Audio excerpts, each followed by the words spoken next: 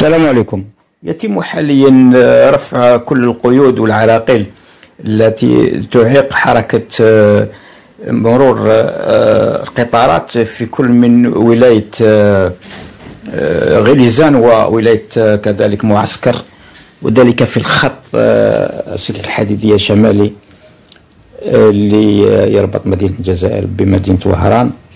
إذن هو في هذا الإطار تتكفل شركة كوسيدار برفع كل النقاط نتاع تقاطع آه، طريق سلك الحديدية مع الطرق الولائية والبلدية التي تمر على السلك الحديدية يعني مسمى آه، بلي باساج نيفو أو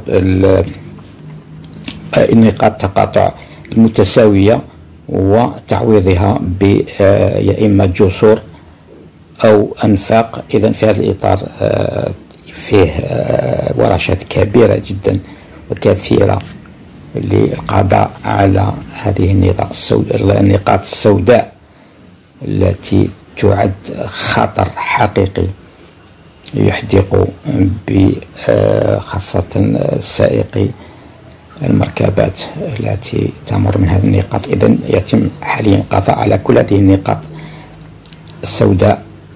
على طول الخط.